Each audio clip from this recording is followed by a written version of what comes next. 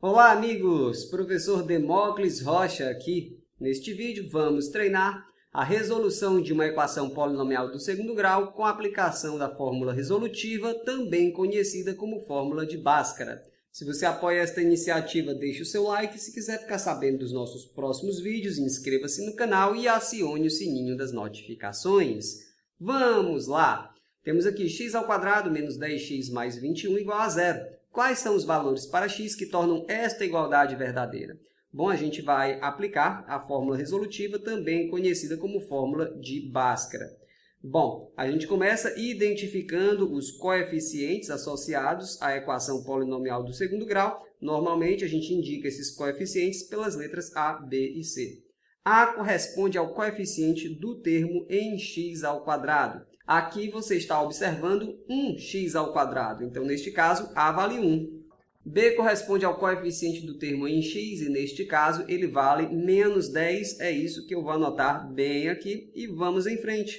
C corresponde ao coeficiente independente de x e neste caso ele vale 21, beleza? O nosso próximo passo vai ser calcular o valor do delta, o discriminante associado a esta equação polinomial do segundo grau. Ele tem uma fórmula que é sempre assim, b ao quadrado, em seguida você tem menos 4 vezes a vezes c, b ao quadrado menos 4ac. Vamos ver como é que fica o valor do delta neste caso. A gente começa analisando aqui b ao quadrado. Como b vale menos 10, como ele é negativo, eu coloco entre parênteses e ele está ao quadrado. Então, eu tenho menos 10 entre parênteses ao quadrado. Em seguida, eu tenho menos 4 da fórmula. Ele vai multiplicar o valor do A, que estamos vendo que vale 1. A gente vai multiplicar também o valor do C, que vale 21. Aqui está. Bem, aqui nós temos menos 10 entre parênteses ao quadrado. É o mesmo que menos 10 vezes menos 10, portanto, é igual a 100 positivo. Em seguida, eu tenho menos 4 vezes 1, que é ainda menos 4, e a gente ainda vai multiplicar por 21. Talvez você queira fazer 100 menos 4, mas não pode. Esse 100 eu vou só repetir. A prioridade, galera, é da multiplicação, não esqueça. Menos 4 vezes 21 é igual a menos 84. Beleza?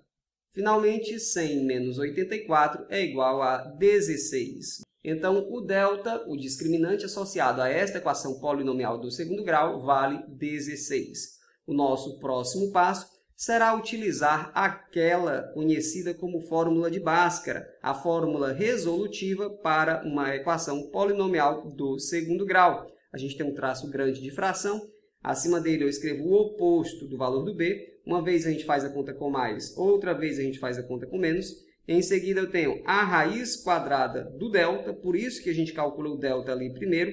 No denominador, eu escrevo o dobro do valor do A. Vamos ver como é que fica a aplicação dessa fórmula neste caso. Eu vou colocar aqui um traço grande de fração. Começamos analisando o oposto do valor do B. Menos B, assim eu entendo como o oposto do valor do B. O oposto de menos 10 é 10 positivo. Aqui está. Uma vez eu faço a conta com mais, outra vez eu faço a conta com menos. Em seguida, eu escrevo a raiz quadrada do delta.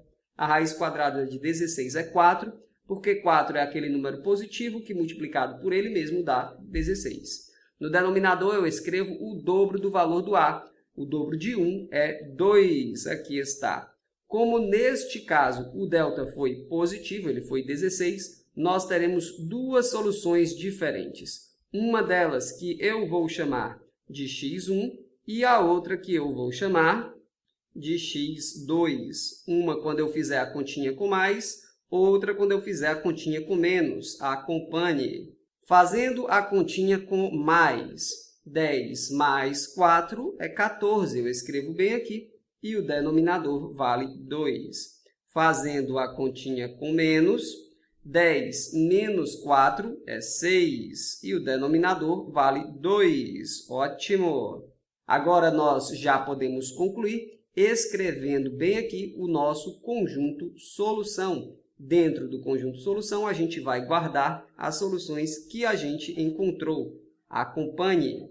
Uma delas foi 6 sobre 2. Lembre-se que toda fração corresponde a uma divisão e 6 dividido por 2 é igual a 3. Então, é isso que eu escrevo bem aqui.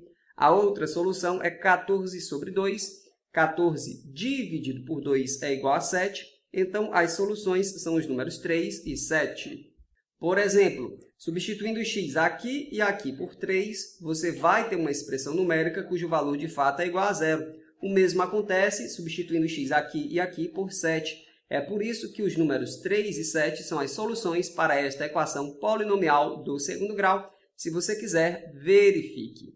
Está na hora de dizer que este vídeo foi feito de coração para te ajudar. Se ele te ajudou e você quiser me ajudar de volta, deixe um comentário. Com uma carinha sorrindo, compartilhe o vídeo. A gente fica por aqui, um abraço e até a próxima. Tchau!